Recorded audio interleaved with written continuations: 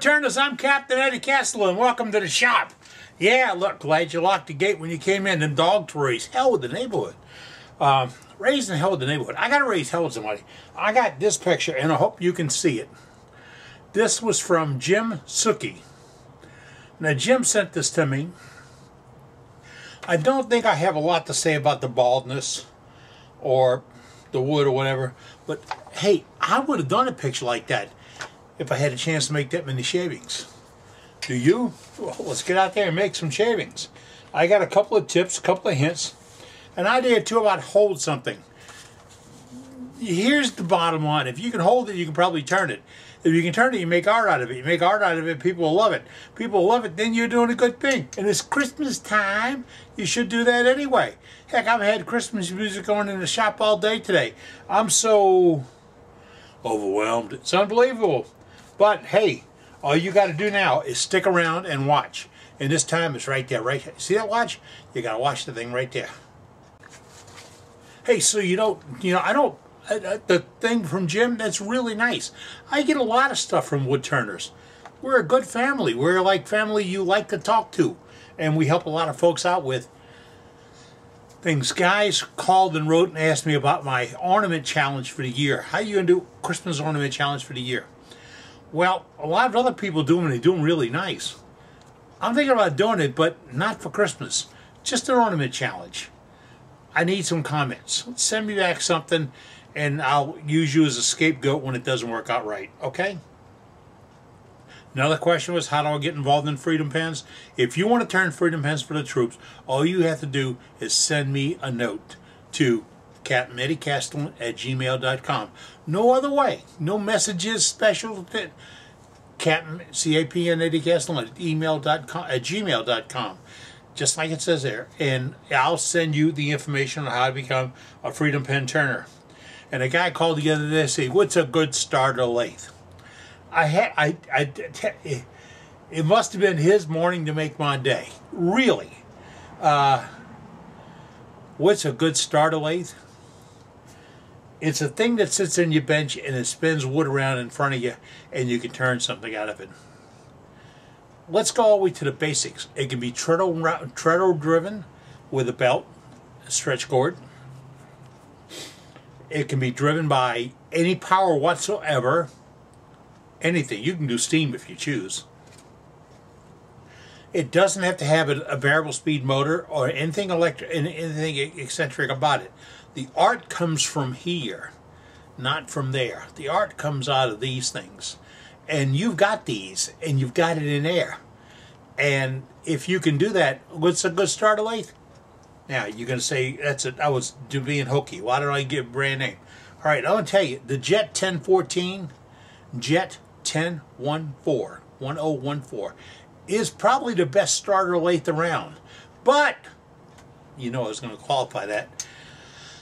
There are about a hundred knockoffs from Harbor Freight to Jet Tools to Craft Supplies to Excalibur to Goliath to right on down all these people are making a knockoff of the Jet 10 to 1014 lathe. That means it throws 10 inches vertical, maximum 10 inches, 14 inches long. It's a mini lathe, M-I-N-I lathe.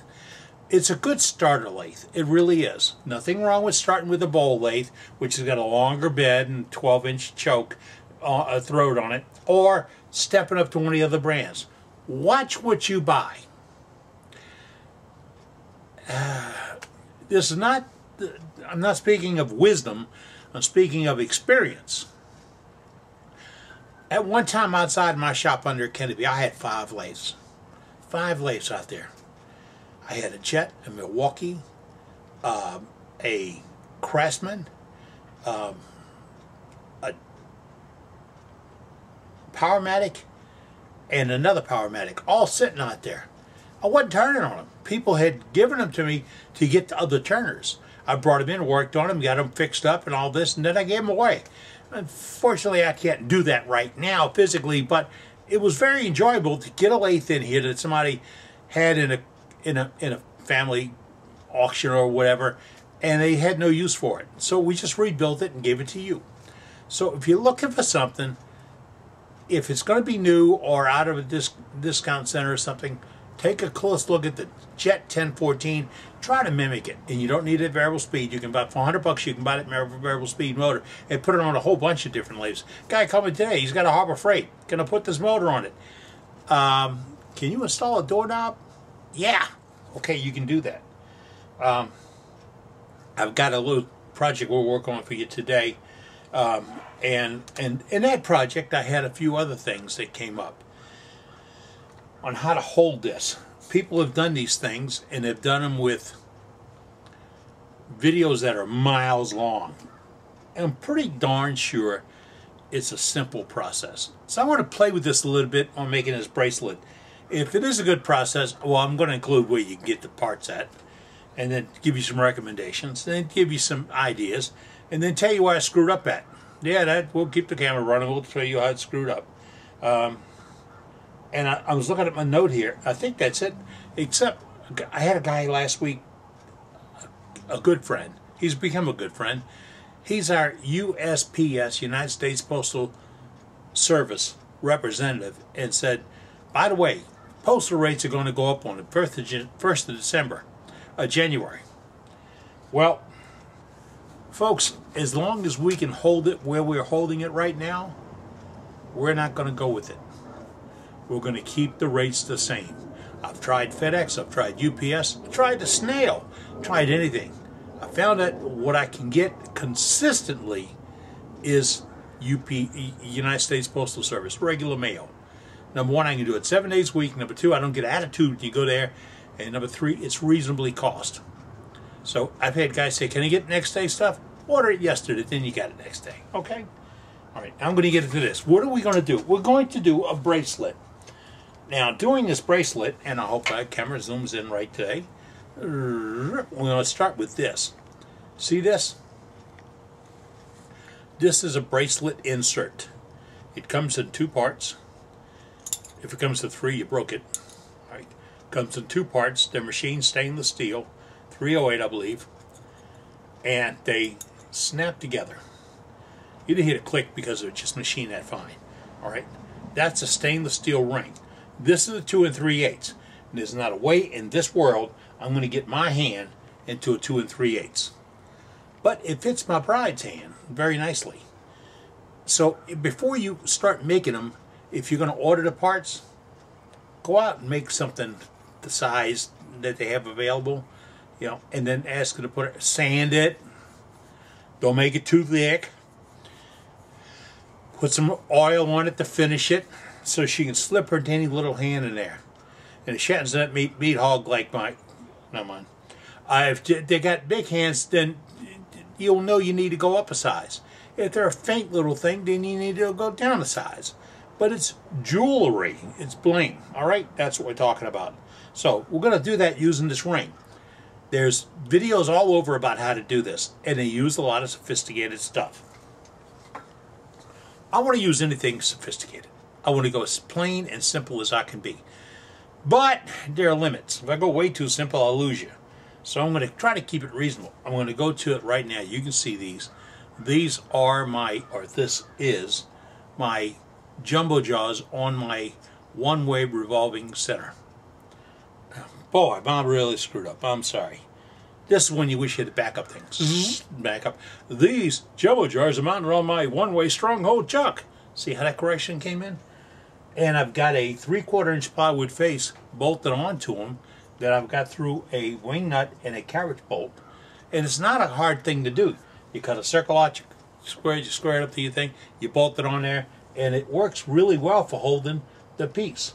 What piece? Well, in a minute I'm going to move the camera and show you that. This can be no simpler than rebuilding the carburetor on my weed eater. What, what are we talking about? You see, I had a weed eater, went underwater, got wet the guy at the auto parts at the supply store said, you can do a carburetor kit for 10 bucks, or you can do a carburetor for $60. So, cheap me, I took the carburetor kit. I didn't watch the video on my small engine shop to tell me, don't put carburetor cleaner in it. I melted all the crap off. I melted all the parts off. So, then I found that if you research that model, EMS 20 or 320, And that carburetor, and it's got something 70 on it, and this and that, I bought it on Amazon.com with my Prime shipping, and the first time I ever saw a Prime truck drive by today, they, they're right around the corner, but I never knew them to do deliveries. Got that $15.63. I cleaned it off, put it on there, and I'm not an awesome automotive mechanic. I cleaned it off, put it in there, thought I made a few mistakes, pulled the handle, and then was totally shocked. No, not mm, shocked. Shocked. It was running. One pull. Full power. Everything right. It's amazing. And I learned how to do it, how to put it all together. I watched the YouTube video on it. So watch this one. I got something to show you. Now, if you're going to do something like this and you want the bling, the wood to show and stand out, pick a good piece of wood. This might not be the best, but this has been sitting on the floor down there since before I had my stroke. So I think it's dry. It's been down there about five years. And uh, I cut some wafers out of it. And I, I think I cut them three and a half inches, no, four inches across. Yeah, four inches across. And then I took it on the bandsaw, just made a loop out of it. It's sawing down on one side, sawing down on the other side, so it's not gorgeous, but it's useful. Uh, it's got a good color to it. I'm going to hold it in these jaws. Now, you see the plywood backing on these jaws? Now, I had something else bolted on here that I used this for because these have a little bit of give, not a lot. And I see where it's giving at, so maybe before we crank it up, we'll tighten it up a little bit fact, you know what? We're going to do that right now. I took it off, checked them, and it was just a little bit of slop in the mechanism. But I can tighten it down and get it going right. We're going to do that. And I got to be careful about the safety stuff with you guys. Thank you. Thank you. I did want a, a piece a couple of weeks ago with bottle stoppers with Ronnie Benetta. And we were at his shop, and I forgot my smock. So I put Ronnie's. He's got a brand new XXX, XXX, like nine X's and then an L jacket. And I put his on. I liked the way it felt. You watched me. You watched me. You saw that the sleeves are long, and I was reaching over the lathe to get my hand behind it to do a, finger rest. I shouldn't have reached over. I should have reached under, and I should have had my hand in a better position. It was on somebody else's machine. Got to learn on that. And also didn't think about what you're watching. You're watching me make mistakes. I don't want to make mistakes. I want to show you how to do it right. Even if you think it's wrong and there's a guy out there from East Jabib that's showing you how to do it faster and easier, I'm going to show you how to do it safer. So, with that, we're going to crank up, spin this a little bit and put a depression. See, they're open about a quarter, three eighths of an inch right here. I'm going to put a depression right there in the middle, and then I'm going to grab this and start the turning.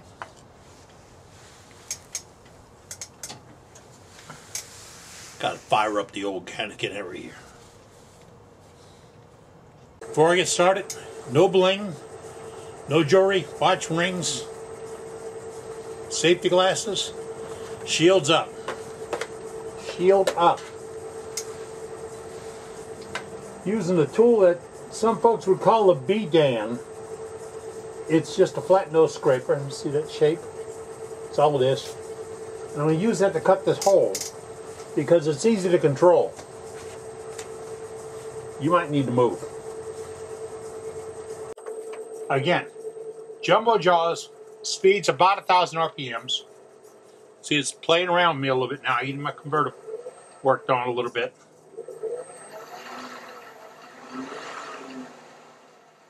Get that speed right. Then I'm going to take this tool and knock it out. Shields up.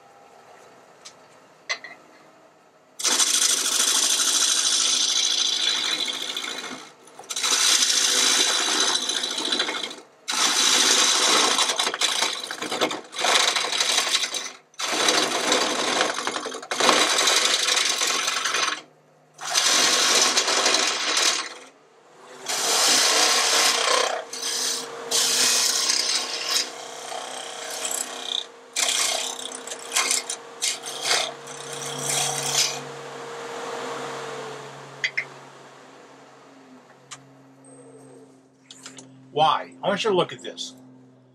I'm going to find the right button is on, just turn it off. I'm making a recess. The recess is to hold this piece of wood.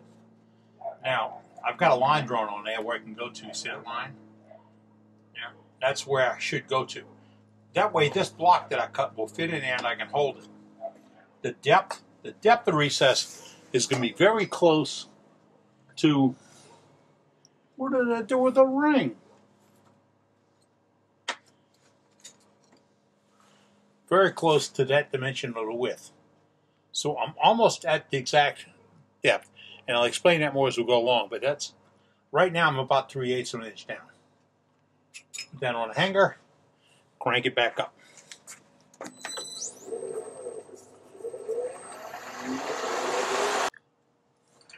All right, already. Okay. Yes, indeed. We did that depression. See the little depression in there? All right, about 3 eighths of an inch deep. That will work for this. I'm going to put the block in, and then I'm going to turn the handle, the squeaky handle, and I'm going to tighten it up. Now, what am I doing? I'm getting it ready to face off a good side because I have saw cuts here and saw cuts there, and I want to face it off. I want to do it with a bowl gouge. Why? I can also do it with a scraper, a. am uh, I'm looking at it here. I probably I could even take my roughing gouge where I got to sharpen and make those passes and get that thing smooth. I could take a bowl gouge and I could take that scraper again and I could take a carbide tool and do it. A lot of things that you can use. It's not special equipment, okay? It'll work. Shield down.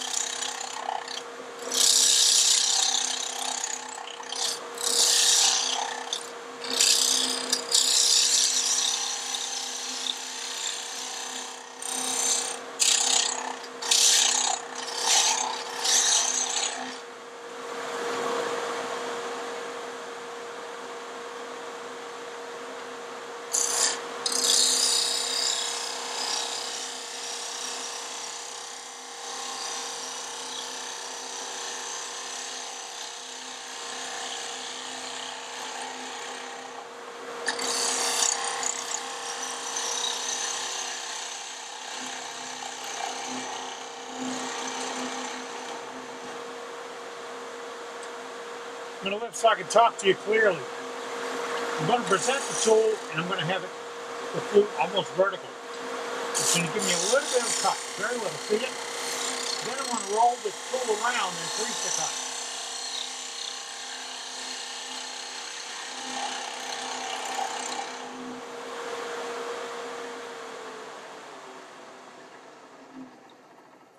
What happened was I went from an install initiating the cut to planning the cut, and this is slick.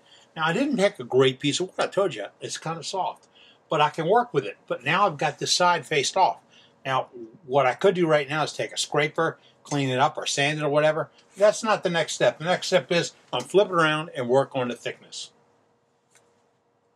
Now, you might ask, why did I do this doofus thing with the, the jaws? All right, I got a block of wood and it's not sized it's just a block of wood. And it could be stabilized it could be burl it could be whatever you want. But how do you hold it? Well this eliminates a lot of my holding problems.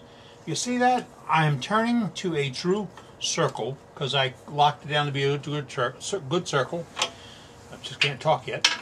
And then i'm able to take my tools and do a lot of work on this. And if i hit something i'm going to hit something wood I'm not going to hit my chuck. I'm not going to hit my chuck jaws. I'm going to hit a piece of wood. And the beauty is I need to get down to roughly that thickness right here. You can see it, that thickness. And I want to take my, cal my caliper, do it, and then I can go up here, and I'll, well, stick around. I'll show you how to do that. I'm going to do this again because I hit the off button instead of zoom button. I'll go back to the 3 8 gouge because I'm comfortable with it. I like this tool from D-Way Tools. Shields up.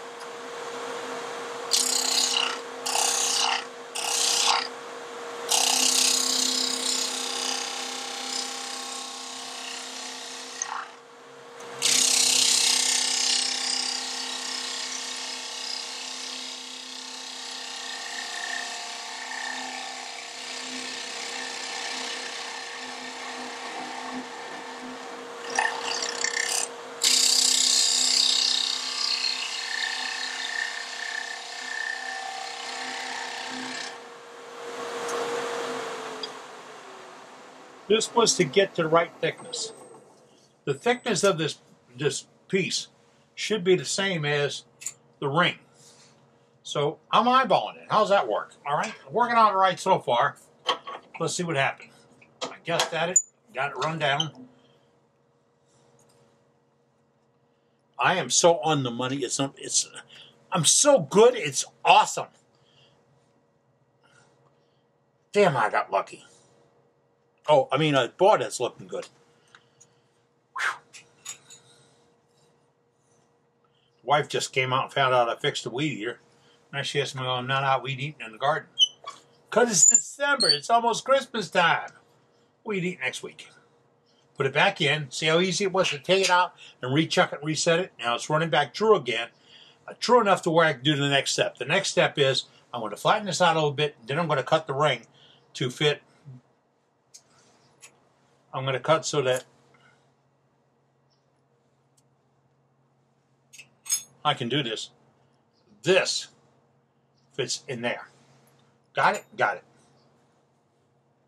The pros and cons, because I have to give all those to you. This is so soft. I really need to find a better piece of wood to do this out of. But now it's become a challenge. I'm going to kick its butt. Um, because it's so soft, it's going to be a little crumbly and a little hard to work with. We use sharper tools, and I won't have a problem with I'm going to get right now going my my my uh, parting tool. I want just go through and knock some burrs off and put a new burr back on front. Now that just sharpened up that tip a little bit. Simple move, no grinder, nothing else. Then I can go ahead and make the ring, this ring, fit that ring.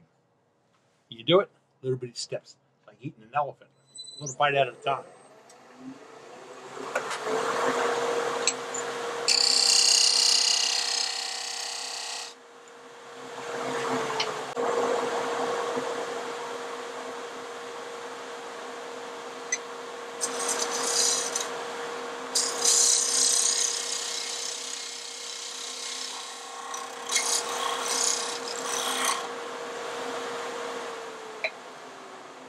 I went back to that I want to call it a bedan, but it's not. To clean up the hole a little bit. And I'm close, close, close, close, close.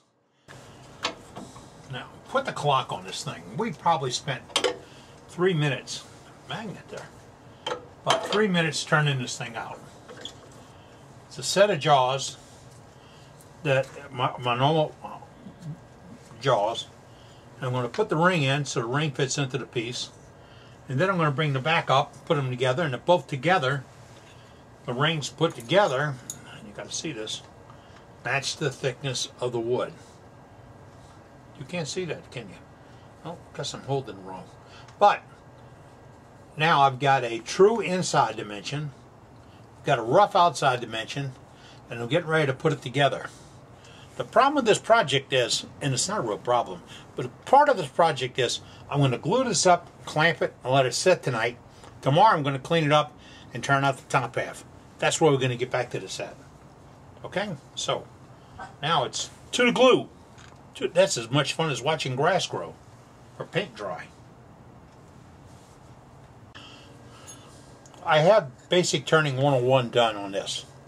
I'm going to take the two rings, put it on a piece, and check to make sure that when I bring it together that it'll match up and be the right thickness. Now, if I'm a little bit off on the thickness, I'm a little bit of fuzz off on the thickness, I can put it back in and sand it down a little bit on the face to get it back in here. I'm going to glue it together using the 15 minute epoxy from Penn State Industries. My favorite epoxy of all time. It really works good, and with 15 minutes setup time, I think it's called 15 minutes.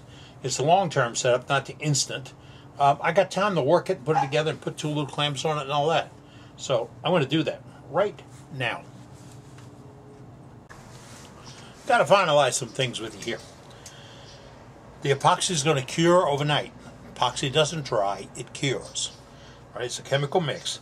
I've got it down the way I don't have any expansion, any any give side to side, front to back, whatever. I got a little bitty bitty play in the, the, the wood fit. Little bitty bitty play. I'm talking about it. Never mind. And uh, I need that to get the epoxy in.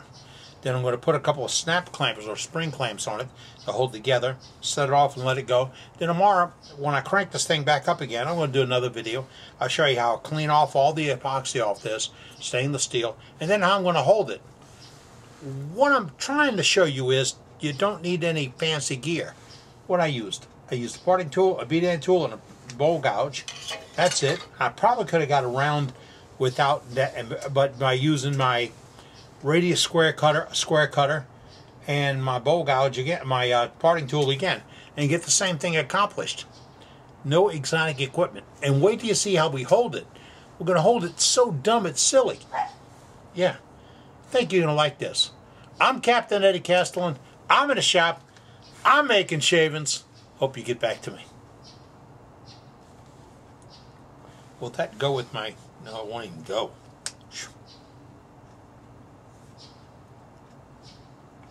My daddy was a milkman. I, he said, I had two quart hands.